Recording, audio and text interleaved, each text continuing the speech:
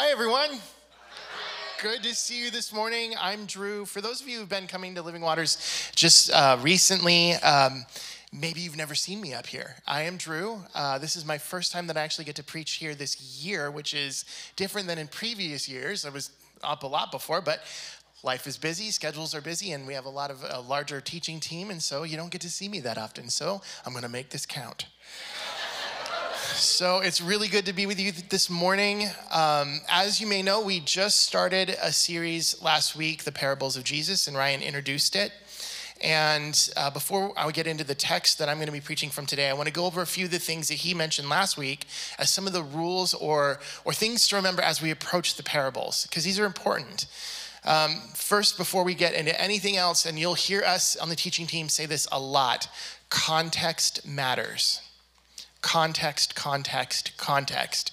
Uh, for, the, for, for, for those of us in the modern Christian era, sometimes I feel like we approach scripture with almost a postmodern mindset of like, what does this mean to me? This is what this scripture means to me. And I just want to say something that we've said often from here. All scripture has one meaning. Scripture means what it meant to the original audience.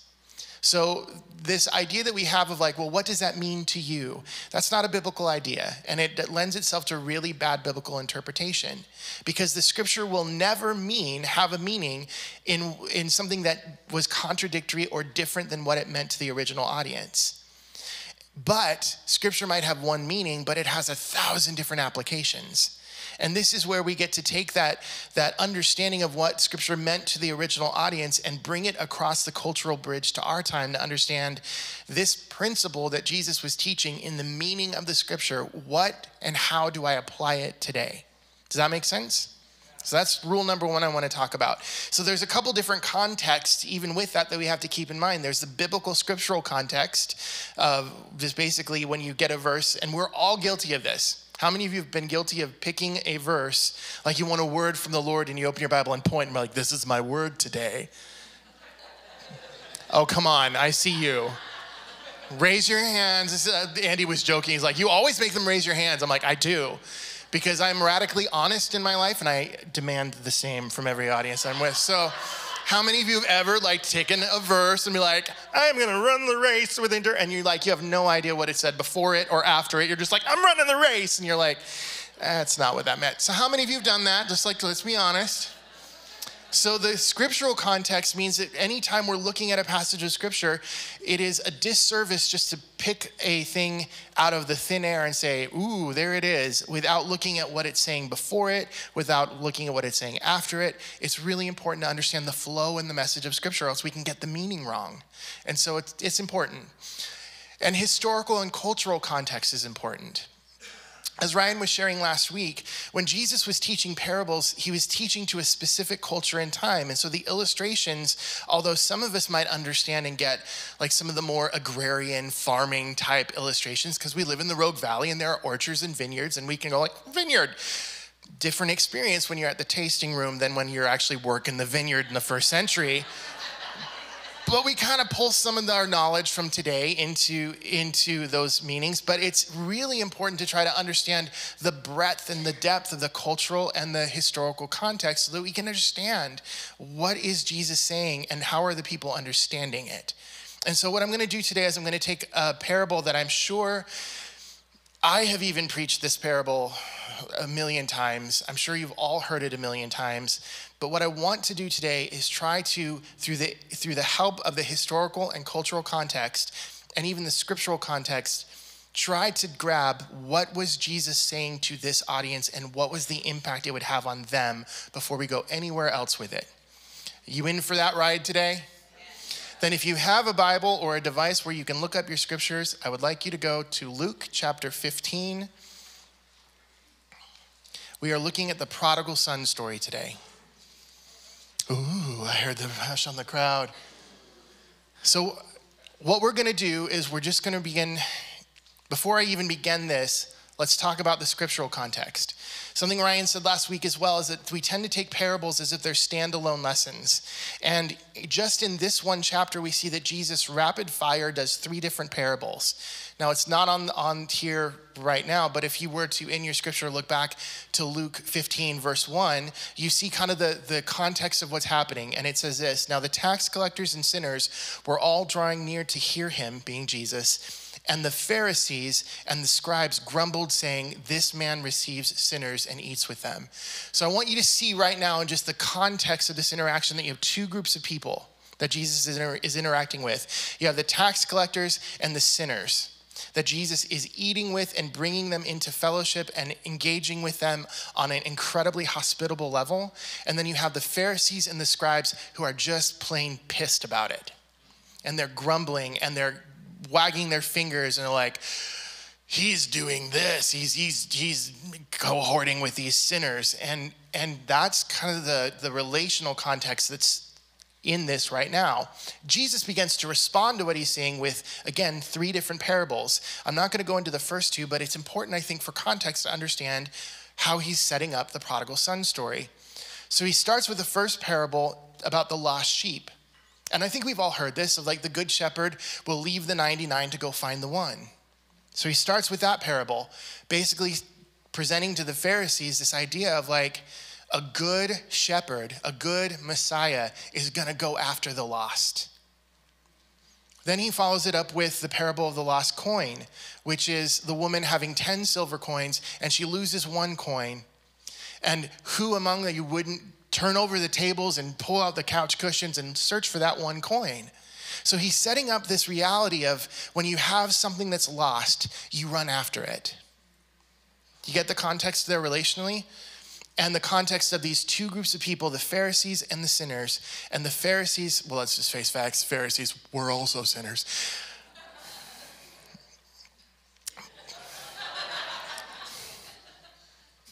But he's setting up this context. And then in the third parable, he goes into the parable of the prodigal son. And what we're going to do is we're going to read and through we're going to read parts of it and I'm going to stop and dissect the cultural and the scriptural context to the different parts so that we can understand it.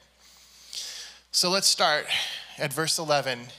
And he said there was a man who had two sons. And the younger of them said to his father, "Father, give me the share of the property that is coming to me." And he divided his property between them. Not many days later, the younger son gathered all that he had and took a journey into a far country. And there he squandered his property in reckless living. We're going to stop there for a second. Okay, first thing cultural context. The biblical, biblical culture that we had, and in fact, a lot of the Middle Eastern cultures existed in what was like a uh, honor and shame culture. So, honor was incredibly important, and when you violated honor or you did something dishonorable, shame would fall upon you. And honestly, we can read in the scriptures, all throughout the scriptures, where you see this tension point and you also see the character of God in contrast to it. If you want to think about, like, one of my favorite passages of scripture is Isaiah 61, where in Isaiah 61, he talks about, For your ashes I give you beauty, for your shame I give you a double portion of grace. It's all about this exchange of dishonor and shame to honor. And so you have to get that in your head as we're talking about this of the shame and honor context. And you have this moment where the son, the younger son, another cultural context is in the biblical culture.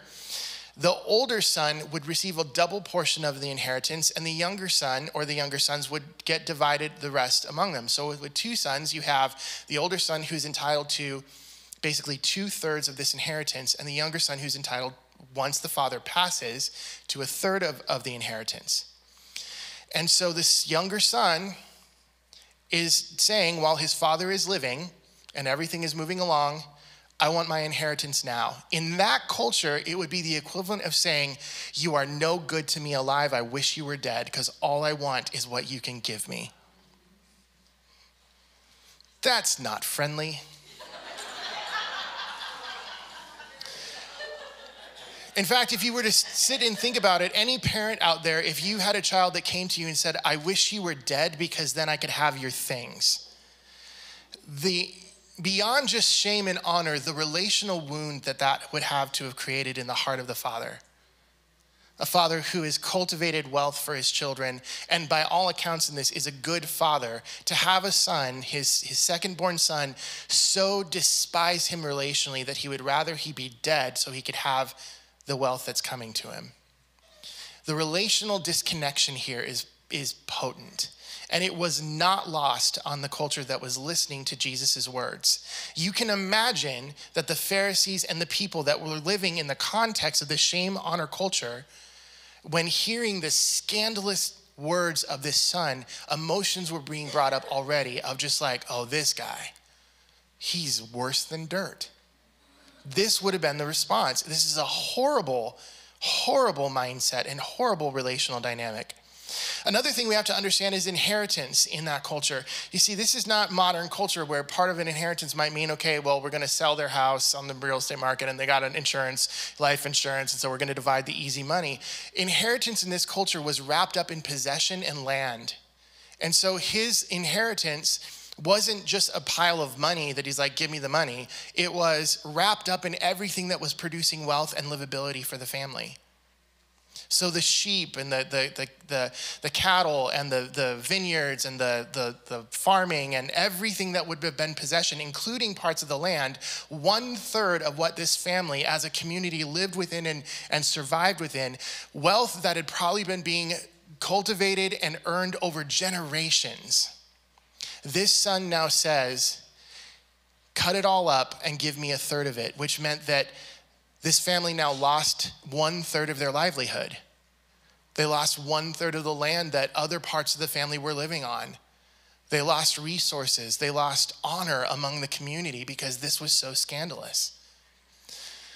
And when the scripture goes on to say that he then, a few days later, gathers everything up and moves, you know, goes off to a, a far country, in the original Greek, the, the term for gathering up has this connotation of liquidating the assets. So basically, saying what you've developed over generations is so worthless that I'm going to take pennies on the dollar to get rid of it so that I can go and fulfill my desires. Can you imagine the shame and the pain and the relational disconnection that would be present in this?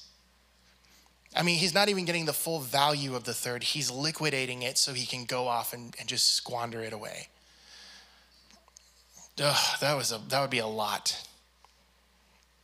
And then he says he goes off into a far country and there squandered his property in reckless living. And by that term, reckless living, in the original Greek, Greek can have a lot of connotations. It can just mean like unwise spending. It can mean, you know, lavish generosity to people without regard for your own welfare. It can also mean really sinful, immoral behavior. So it could be that he was just being very overly generous, spending everything, or it could mean that he was spending it all on prostitutes. It, it had a wide range, but none of it was honorable. So we get to this, this point in the story. Does that help for cultural context a bit? So now, verse 14. And when he had spent everything, a severe famine arose in that country, and he began to be in need. Now, not that you have to raise your hands, but how many of you have been in a situation where you have squandered something and then famine comes?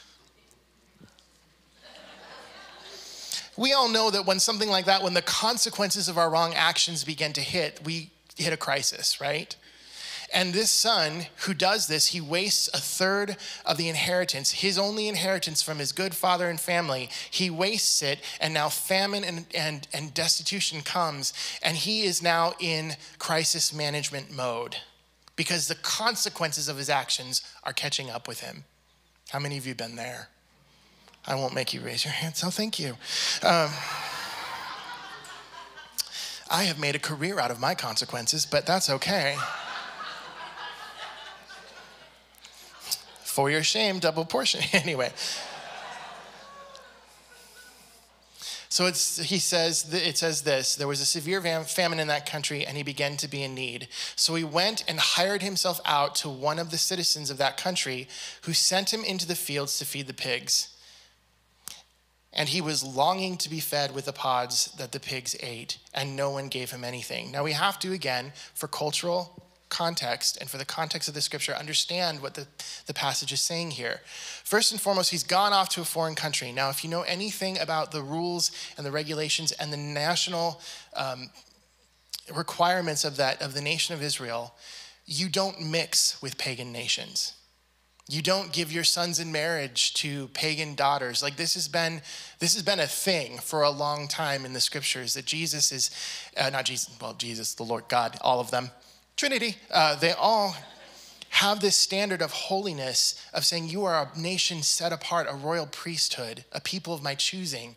So this national identity wasn't just nationalism, it was you belong to a family. Don't prostitute yourself out to places and people that are going to destroy your connection to who you are. And yet, this is what he's done. And now he is hiring himself out to one of the citizens of one of these pagan countries. But even the Greek word there, hired himself out, it isn't powerful. The, the, our translations aren't powerful enough. It literally has the context of he has attached himself, glued himself to this citizen of this country to try to figure out how to survive. When I was reading some of the commentaries on this, it, it gave this modern illustration of if you've ever been in a big city and you pull up, you know, in your car and someone starts trying to wash your windows and you're like, go away. You know, it's like people or a house guest that won't leave. Or anyway, anyway, I won't belabor the point, but essentially the context with the word there was that this this other person in this nation had no desire to have this this man attached to him. In fact, there was no doubt that the difference in nationality was very visible. And so, in retaliation for his disgust, he gave him the one job that he thought would make him go away go to the unclean pigs and serve them.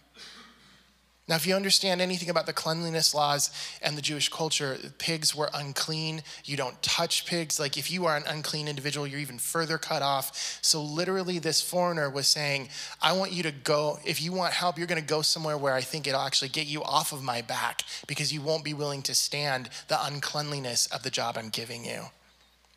And the pods that the pigs were eating were not edible to this young man either. So the food that he was offering to the unclean animals that were further compounding his shame, although he was starving and hungry, the very food they were eating, he couldn't eat or digest. And so he was further starving, further shamed, further isolated, all the consequences weighing on his shoulders. And it's in this moment that he comes to his senses. As the scripture says, when he came to himself, he said, How many of my father's hired servants have more than enough bread, but I perish here with hunger? I will get up and I will go to my father, and I will say to him, Father, I have sinned against heaven and before you. I am no longer worthy to be called your son. Treat me as one of your hired servants. Now, for a lot of us, if we've heard this parable taught, we've been taught that this is his moment of repentance. But that's not what the scripture alludes to. And Jesus, in his brilliance, uses in this story a phrase that the Israelites, in their knowledge of their history and scripture, it would trigger something in their memory. If you look at Exodus 10, 15, uh, Exodus 10, 16, and 17, it's the story of when the plagues are coming against Egypt and Moses is trying to lead the people out of Egypt through the miracles and the plagues that God is doing to make Pharaoh very uncomfortable. And in between the eighth and the ninth plague, this is when Pharaoh says, he calls to Moses and Aaron and says, I have sinned against God and against you. Now, therefore, forgive my sin, please, only this once, and plead with the Lord your God only to remove this death from me. So, what Jesus is alluding to in this story is that this is an actual repentance. This is still a dishonorable and a selfish young man who is trying to mitigate the consequences of his actions. And saying, if I admit that I'm wrong, and if I say the right things, maybe I can avoid starving to death. Now, I want to pause here and say that for a lot of us, when we get stuck in sin or we do something that is that we know is broken or we know we shouldn't have done, it isn't always that our hearts come to repentance first. Our heart comes under the burden of the consequences of our sins. And often, even sometimes going to the Lord. And I can tell you this I mean, I grew up in a, in a church tradition where you got saved every year at camp because the last time did not take, you know. And yes, I was baptized twice because lather, rinse, repeat, but you know, often my times of coming to repentance to the Lord wasn't because I felt the relational break between me and the Father, it was because I felt the consequences of my sin. And this is what this guy is experiencing the consequences of his sin. And Jesus points that out because we know Pharaoh was not repentant, was he? Because immediately after that plague was removed, when he said, You tell God I'm sorry, he went right back to persecuting the Israelites, and God had to bring more plagues. And his heart was hardened. Pharaoh was not repentant. Do you know that we can acknowledge that we're wrong without being repentant? And this was the, the heart position of this son. Maybe if I go back, maybe he will treat me as one of his hired servants. Now, something to remember here, and I've preached on this before, and it still stands even though his heart was in this spot. It was the good character of his father that even allowed him to consider he could go home.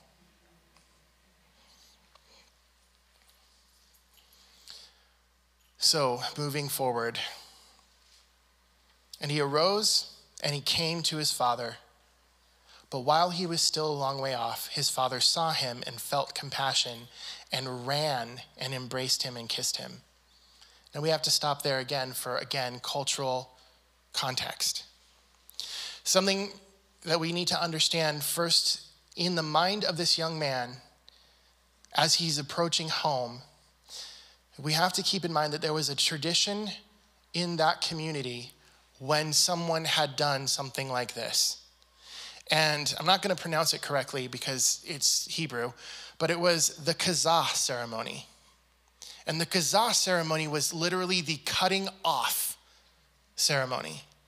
When you had done something so shameful and so dishonorable, the whole community would know about it because they lived in community and there weren't no secrets in that little, because there was no Netflix. You're talking about each other, not Netflix.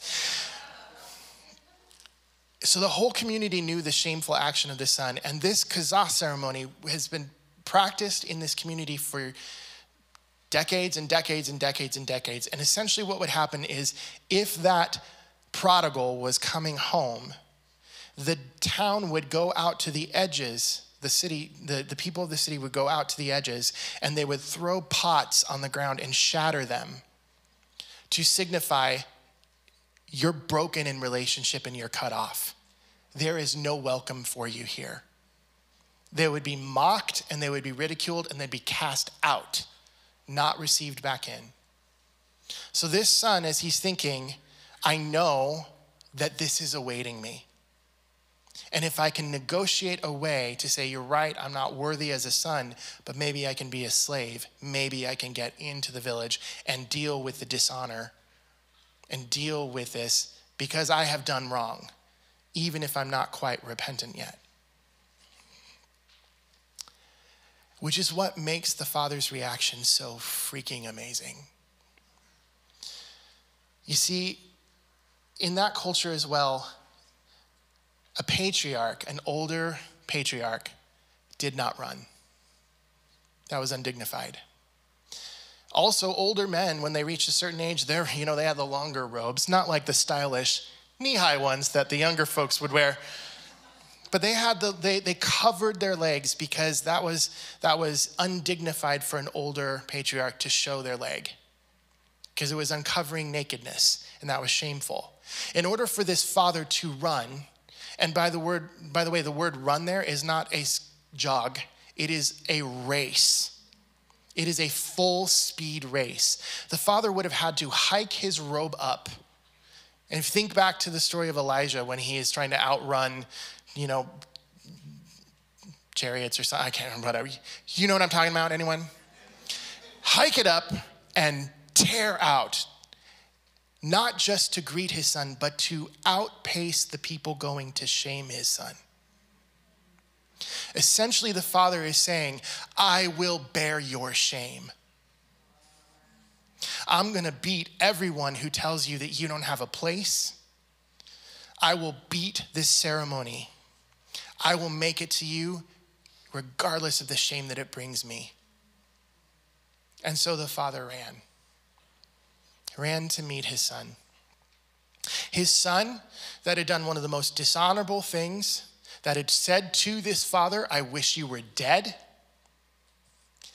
This son that was had polluted himself with everything unclean and was probably still covered in the feces and the mud of the pigs that were an unclean animal. And this father who undignified himself to uncover his nakedness and run to beat the shame also made himself unclean when he embraced and kissed his son. I want us to sit and think for a second about as Ryan said, like when you read a parable, the things that are unexpected that you see happening are reflective of who God is, his character, and the kingdom of God. The things that you would expect to happen, that's what the cultural norm is. The audience expected the kazah ceremony. They expected the broken pottery. They expected him to be cast out. They expected the father to say, You have shamed us. But that is not what the father did. When I contrast that with the idea that Jesus bore the shame of our sin and our brokenness upon himself, that God Almighty humbled himself and took on the form of human flesh, which is also extremely humbling, that the God of the universe subjected himself to being an infant and having his diaper changed. If you think about that, it's a little detail we don't think about at times, but but it's so unexpected that the holy God of the universe would humble himself in such a way. But that's exactly what Jesus is alluding to here that the Father isn't who we expect him to be. So he embraced him and he kissed him, and this was scandalous to absolutely everyone listening to this story. Absolutely scandalous. The son, in his response, said to him, Father, I've sinned against you in heaven before you. I am no, worthy, no longer worthy to be called your son.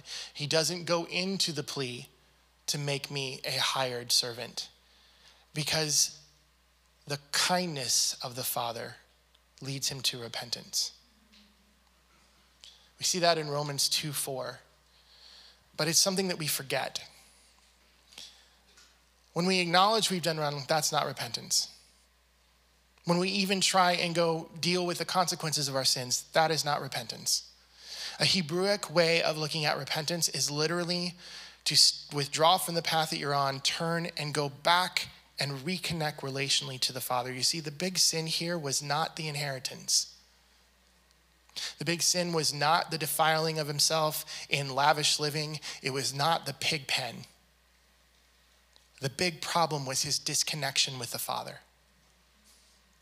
he had broken relationship with his father. And he recognized it in this moment because of the kindness and the lavish love that the father displayed for him. Of course, we see that the father then said to his servants, Quick, bring the best robe, put it on him, put a ring on his hand, shoes on his feet, and bring some of the fattened calf and kill it, and let us eat and celebrate, for this my son was dead and he is alive again. He was lost and is found. And they begin to celebrate. Do you know that so often we stop there with the prodigal son story? Because we feel like the next part of it is just kind of a byline. But I would like to submit to you that the point of Jesus' story actually rests most powerfully in what happens next.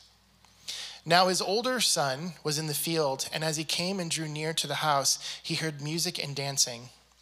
And he called one of the servants and asked what, what these things meant. And he said to him, Your brother has come, and your father has killed the fattened calf, because he has received him back safe and sound. But he was angry and refused to go in. Why? Because the older brother, who had been faithful, who had followed the rules, who hadn't shamed his father, was expecting in a justice shame honor system for his younger brother to be put to shame and cast out.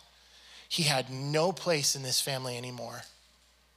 How dare you come back here? And then his father's reaction scandalized him further.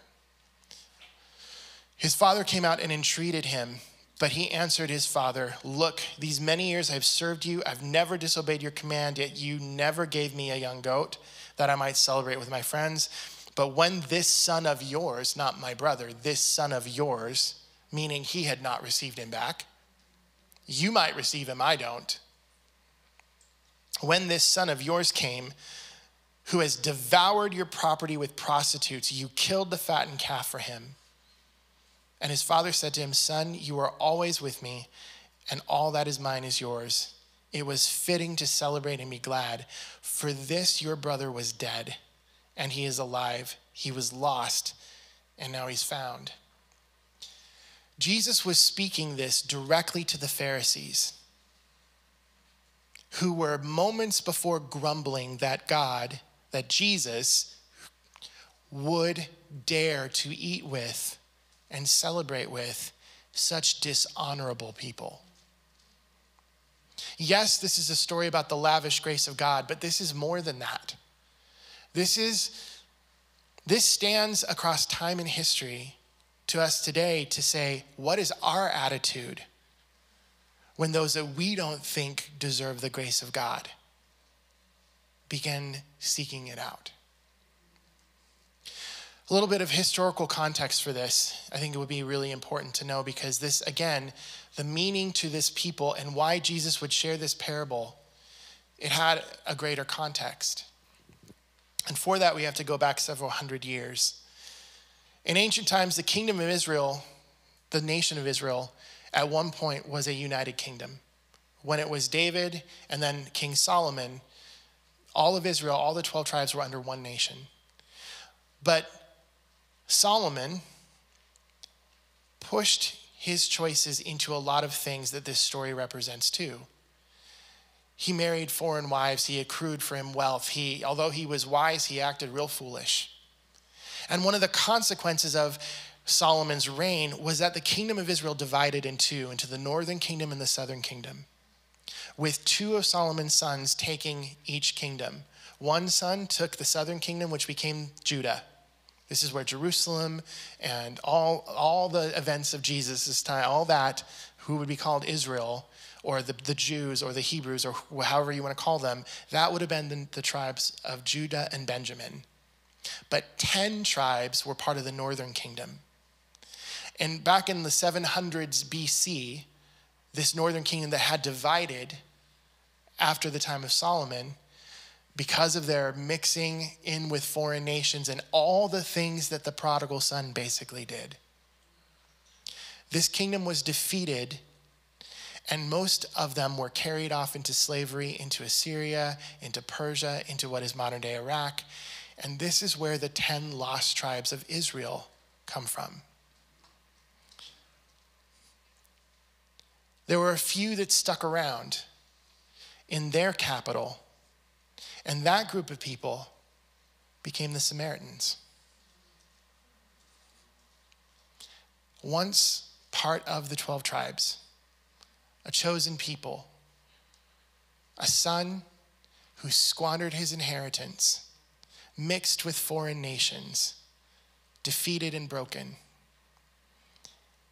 And Jesus came into a culture and time where all of the cutting off ceremony theoretically had been done. If you, the, the way Samaritans and Jews interacted was so vile, was so discriminatory, was so, so awful.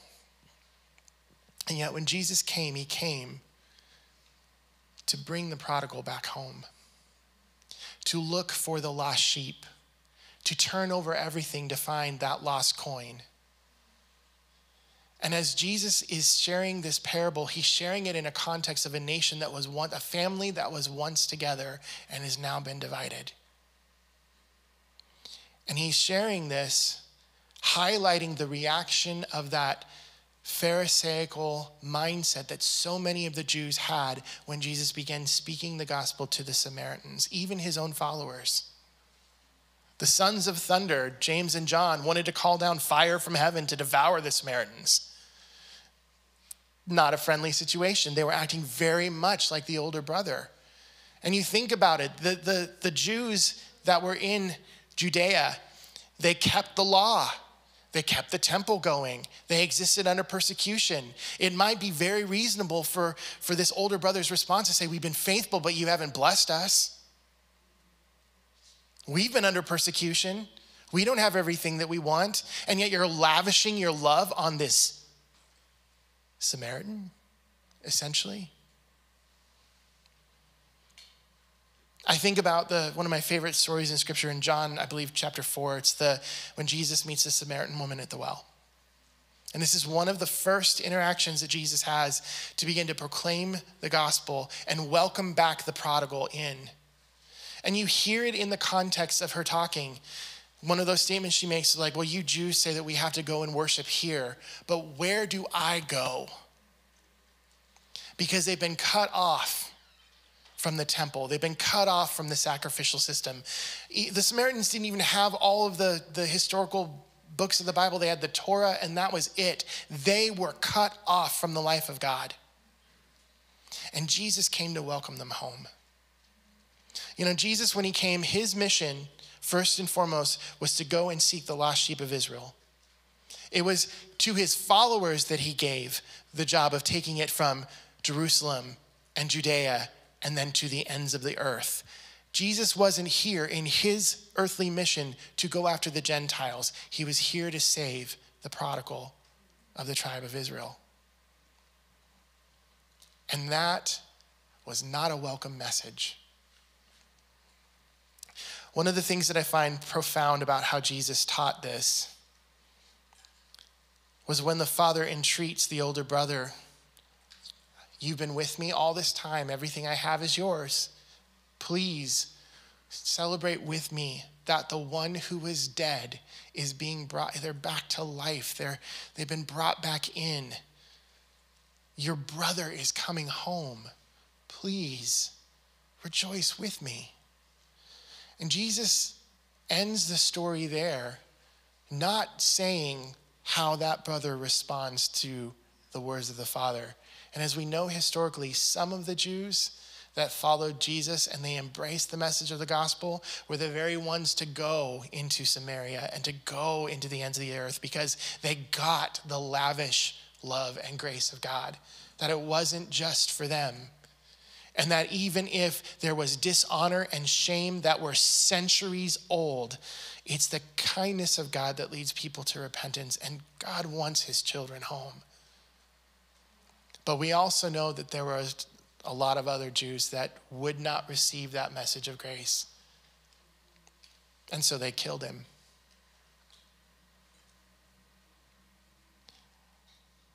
That's a light way to end that part of the story, Drew.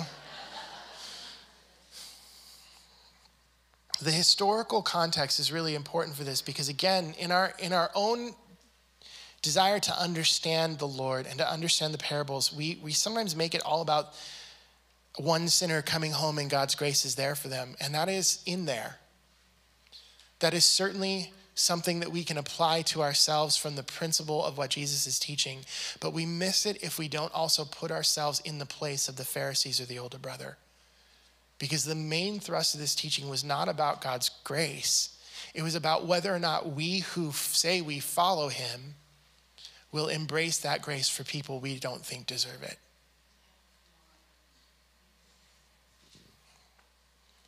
So, for those of you who know me, hi.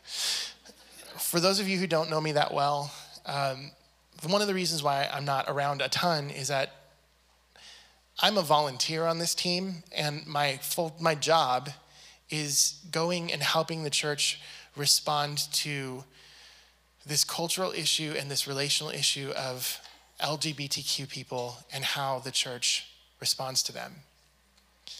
I have that ministry. I've had, been in that field of ministry for 25 years, and I have that because I have a, my own history of struggling with same sex attraction and my own history of being involved in a gay relationship at 19 years old. And I can tell you right now that I felt very much like a Samaritan growing up. Because I grew up in the 80s, and I grew up in the age and the era where the church loved to throw stones at the gay community and saying that AIDS was God's judgment on that community. That every consequence and every bad thing that befell that community or our nation was because of the gays. And in my own walk with the Lord, I have I resonate with the prodigal son story very deeply. I resonate with the Samaritan woman at the well very deeply, a sexual sinner who was an outcast, and yet the grace and the love of God encountered her. That is my story. And so, like I joked earlier, I've made a career out of my uh, former shame. I have. And I know a lot of people in that community who struggle very deeply to ever darken the door of a church because of the way that we collectively, as the body of Christ, have treated our brother.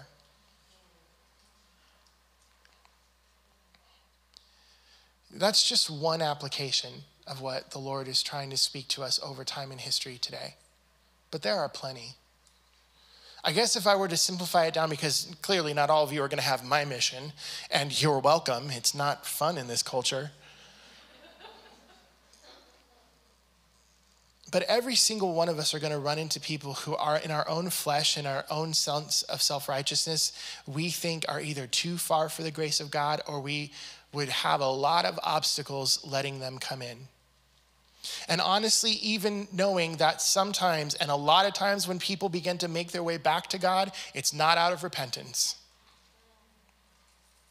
It's not out of repentance, it's out of consequence of their sin and actions.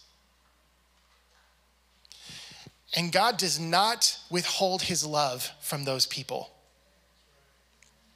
God does not withhold his mercy and grace and lavish love, even if the person isn't emotionally there yet. Imagine the criminal on the cross next to Jesus, realizing the full consequence of his sin and actions, probably didn't feel overly emotionally repentant but recognizing who this man was, the Son of God, recognizing my sin has got me here.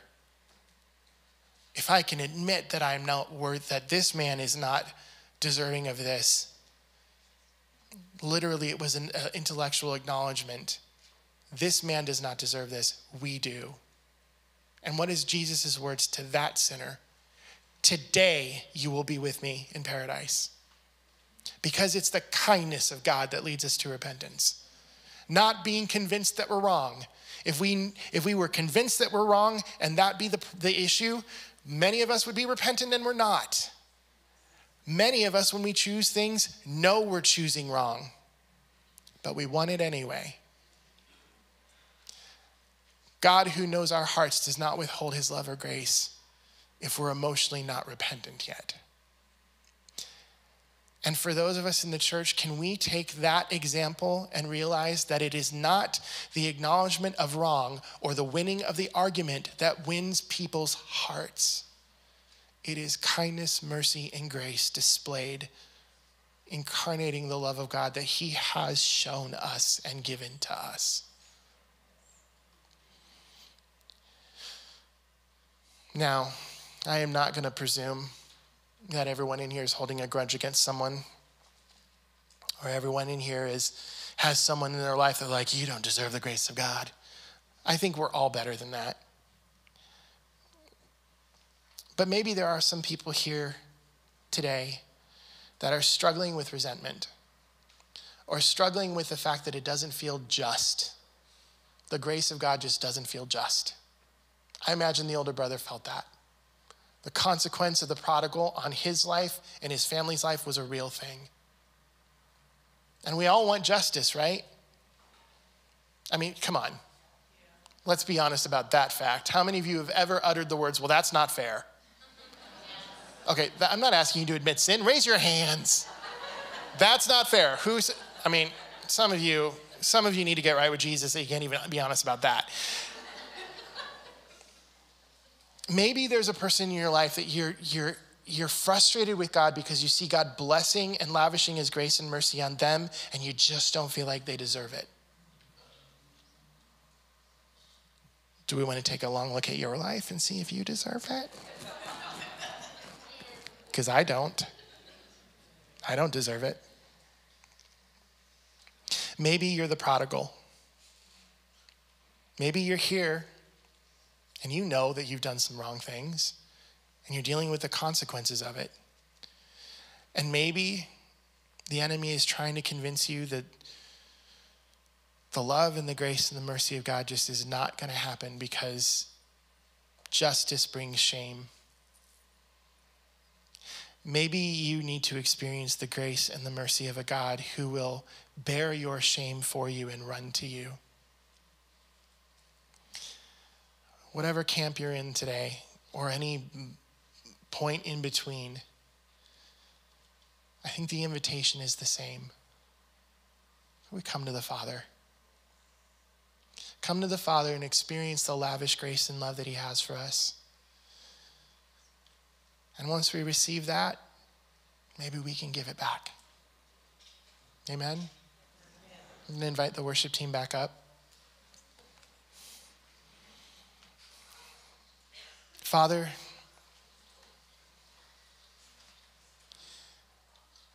we could we could talk for hours and never ever reach an adequate description of your great love. We could scour the scriptures for every example of when your grace won out over judgment and still not understand how deep that well is.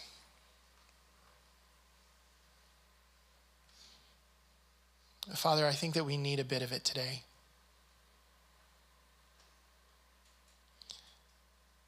Lord, I pray that you just pour your spirit out on us right now. Whether we're the prodigal or we're the older brother. We need a deeper revelation of your kindness. We need a, de- a deeper revelation of your redemptive love.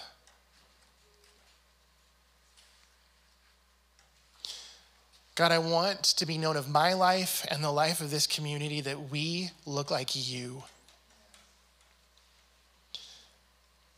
That our patience resembles yours. That our willingness to bear shame or judgment from a community because of the extravagant grace that we pour out is a hallmark of who we are. And God,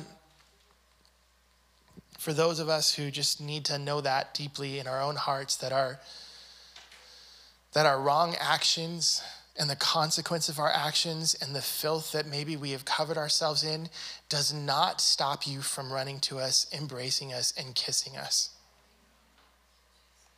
That it never has, and it never will.